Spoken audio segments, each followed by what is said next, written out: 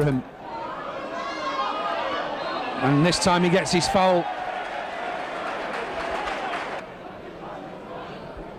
Clark and this. Cooper and Flint in the wall before the wall.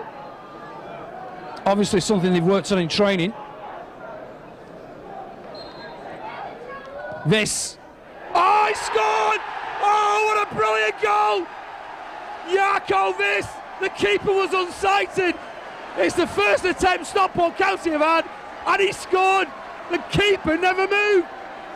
Brilliant goal from Jarkko Wiss. And he just keeps scoring. Wilbraham. Three players around him didn't have much of a chance. Intercepted by Clark. On his away. He's away. He's away. It's a brilliant goal.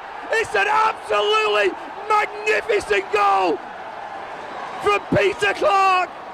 What a great goal to start a second half. County 2 0 up.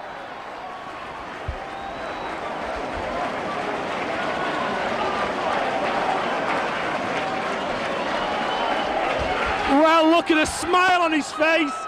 What a brilliant goal. He waltzed through the defence and poked it home.